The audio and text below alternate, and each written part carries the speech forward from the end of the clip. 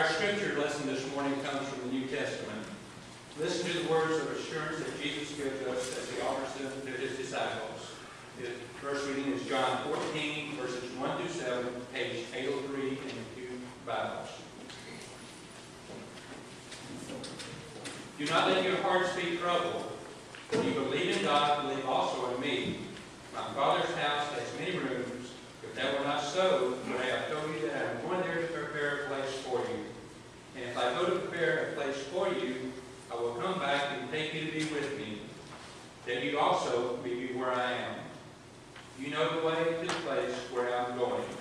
Thomas said to him, Lord, we do not know where you are going, so how can we know the way? Jesus answered, I am the way and the truth and the life. No one comes to the Father except through me. If you really know me, you will know my Father as well. From now on, you do know him and have seen him. And now Jesus offers peace to all of God's children, those who see and those who struggle to believe. And in John 20, verses 24 to 28, page 808 in your Pew Bible. Now Thomas, one of the twelve, was not with the disciples when Jesus came. So the other disciples told him, We have seen the Lord. But he said to them, Unless I see the nail marks in his hands, and put my finger where the nails were, and put my hand into his side, I will not believe. A week later, his disciples were in the house again, and Thomas was with them.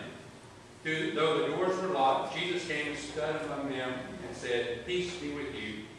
Then he said to Thomas, Put your finger here, see my hands. Reach out your hand and put it into my side. Stop doubting and believe. Thomas said to him, My Lord and my God. This is the word of the Lord.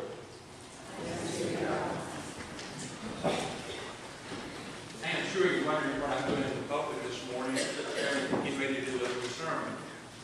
I can assure you, no one wonders that more than I do. Uh, but let me start by telling you how I got here. After having the honor of being uh, chosen to serve this church as an elder, it was requested that the new officers attend an orientation class to find out what our duties and responsibilities would be a new elder or a deacon. And it was a very worthwhile two hours. At one point during Chris's presentation, I heard somewhere in the back of my mind that Chris said that he would expect one of his elders to fill in at the last moment in the pulpit in case something happened and he could not be there that morning. And this caught my attention and I immediately woke up. I mean, I sat up uh, and listened more closely to what he was saying. As most of you know, I'm not shy. And I thought I could, to myself, I could do this, but I kind of put the thought aside. And, you know, strangely enough, the thought would not leave my mind, and I found myself thinking about it all. After some careful consideration, I went and visited with Chris and told him that, you know, I would be willing to do this if needed, and what he meant for me in writing a sermon. Now, to clarify a point here, is that when Chris said during the training session that he would expect one of his elders to fill in for him in case something happened to him, I'm pretty sure that he gave the example that he might, for instance, have had an appendicitis attack at 4 in the morning and to surgery. I can envision myself standing here this morning asking you to put Chris and his family in your prayers for his quick recovery.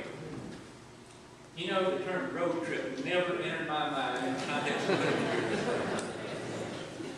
Because, but that's okay, because Sarah Ellen has an important decision to make about where Chris and Tamara's money is going to be going for the next four years.